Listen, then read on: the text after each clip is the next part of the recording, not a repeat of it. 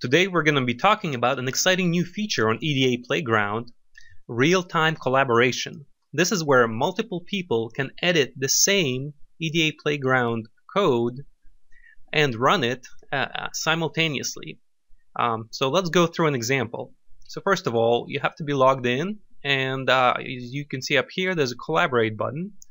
So once I press that button, a screen comes up and uh, you can either say I'm ready for some default options or you can set a few things. Like for example you can set up your name and choose a color that you like um, and then some other options. So let's uh, let's say I'm ready and once you're ready you have a link that you send to a friend of yours.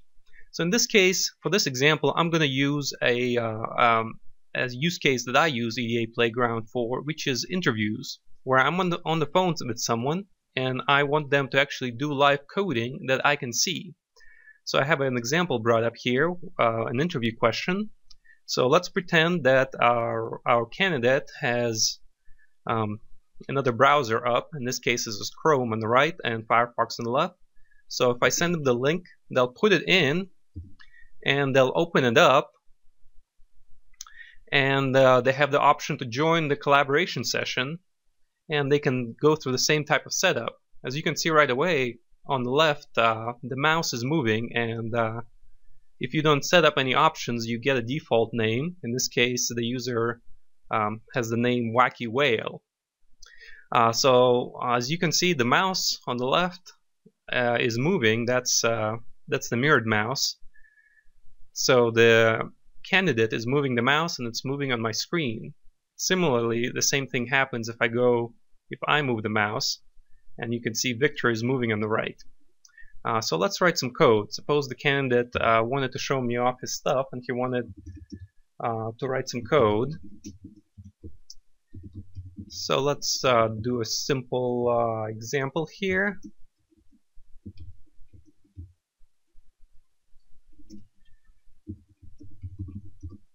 And let's just do a display statement.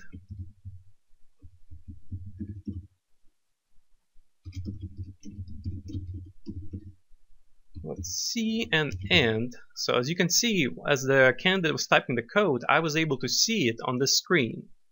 Uh, now besides typing the code there's a few other things that work like collapsing these sections uh, things like that um, and selecting different simulators as you can see, they're mirrored across the screen.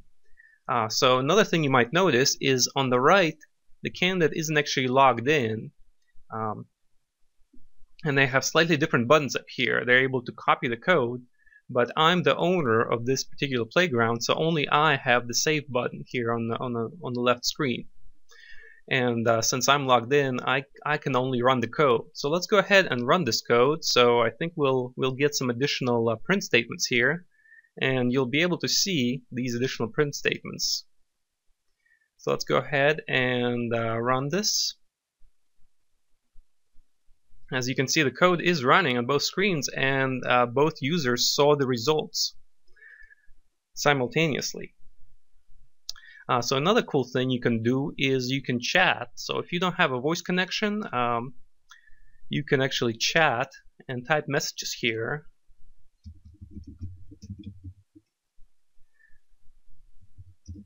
and the other user will see the message and they can respond. So there's a chatting cap capability as well.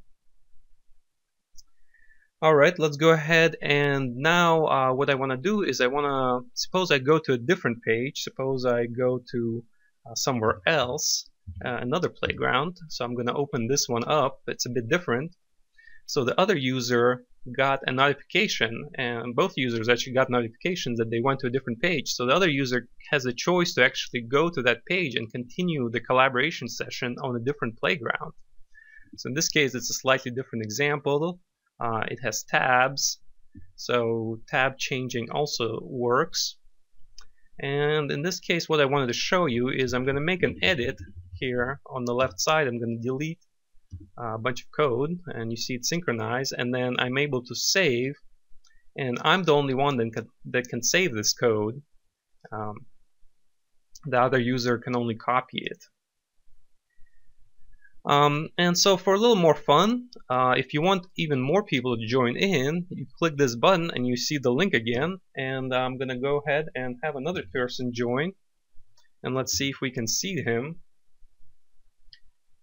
Okay, we've got another person join. Intelligent Iguana, as you can see, uh, the mouse is moving. So we've got three people in a collaboration session here.